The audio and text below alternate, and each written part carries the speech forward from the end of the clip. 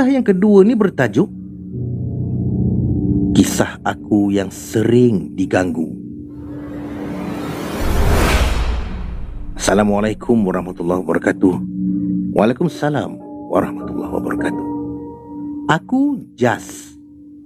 Masa aku baby, abah aku cakap aku ni pelik. Selalu je menangis. Biasa tangan baby tertutup rapat kan? Tapi aku tak. Asyik terbuka aja. Eh, tak tahulah kenapa. Lepas tu, dalam adik-beradik aku, aku seorang je yang boleh rasa kehadiran something katanya. Yang kalau boleh, tak nak pun rasa. Mungkin sebab mak aku ni boleh nampak benda-benda halus dan yang abah aku pula boleh rasa. Oh, katanya. Nak dijadikan cerita, masa aku tingkatan dua, ha, masa ni nenek aku tak buang lagi saka dia. Oh, rupanya ada saka. Nenek aku cakap saka ni keturunan dan tak tahu mana-mana dia terima. Dia, dia cakap, ah, dia cakap dia tak sedar pun. Jadi, dekat rumah aku selalulah kena ganggu dengan makhluk-makhluk ni. Sampai satu tahap abah aku pagarkan rumah tu. Ah, iyalah kan? Aku ni tiap-tiap malam kena ganggu. Masa tu aku tidur dengan adik aku yang nombor dua ni. Dia pula jenis yang tidur mati. Kuang asam Jawa betul katanya. Tiap-tiap malam aku kena tindih. Tiap-tiap malam jugalah aku tidur letak surah Yasin dekat tepi. Lepas tu pasangkan bacaan Yasin letak tepi telinga. Subhanallah. Pernah jugalah katanya benda tu menyamar jadi aku. Ya Allah. Nenek aku cakap tu hantu raya. Hui, seram. Kenapalah benda tu menyamar jadi aku? Lepas tu pula pergi ketuk pintu rumah jiran pukul 3 pagi pula tu. Astaghfirullahaladzim. Beli Maggi? Ha.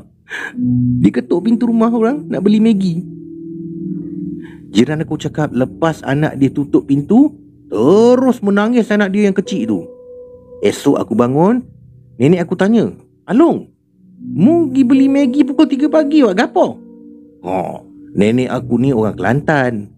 Aku masa tu yang tengah bela, tengah temak tenganga lah. Walhal masa tu aku tengah nyenyak tidur. Jadi mak aku pernah bagi tahu yang dia pernah nampak makhluk berbulu satu badan macam mawas. Besar, hitam, duduk bertenggek dekat tepi pintu dapur dan dia pernah nampak hantu yang macam mumia berlari-lari dalam rumah aku. Astagfirullah. Lepas tu pula, kisah seterusnya pula, aku baru je nak terlelap. Benda tu boleh pula main atas atap rumah. Ya Allah, dari hujung bilik abah aku sampailah ke dapur dia bergolek.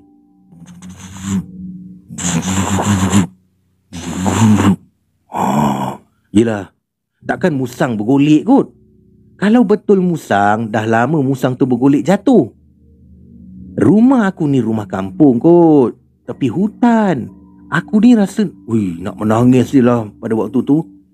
Yang adik aku ni pula boleh tidur mati. Ada pernah sekali, aku dengar adik aku ni tidur lewat. Boleh pula lampu tu buka, tutup. Buka, tutup. Jadi, aku pun buat tak tahu je lah. Malas nak ambil tahulah. Benda tu dah kurang ganggu keluarga aku dengan nenek aku lepas nenek pergi berubat dan buang semua saka-saka yang ada. Namun begitu, sampai sekarang umur 20 pun aku tetap diganggu. Selalu je kena tindih. Dan aku terpaksa gagahkan diri untuk bangun sendiri. Ha, aku kalau kena tindih ibarat nyawa di hujung tanduk, katanya. Pernah sekali masa aku tidur, aku terasa macam rambut-rambut tajam berjurai. Tersentuh pipi aku. Dan pernah juga pergelangan tangan aku ni dicengkam kuat. Astagfirullah. Bila aku tersedar, aku dapat rasa semua tu. Sakit betul pergelangan tangan aku. Ada juga pada satu malam tu, aku baru je nak terlelap ada macam satu tiupan angin yang dihembus dekat telinga aku. pedasing telinga aku. Rasa nak pecah ke gendang telinga. Jadi aku terpaksa gagalkan diri untuk bangun lah. Nak cakap aku tidur tak basuh kaki, tak ada pula. Sebelum tidur, aku baca doa tidur. Eh, tak payah nak cakap lah. Tiap kali kena tindih, mulut ni automatik je terkunci. Pergerakan badan pun sama. Dalam hati, ayat-ayat Al-Quran sampai berterabu aku baca.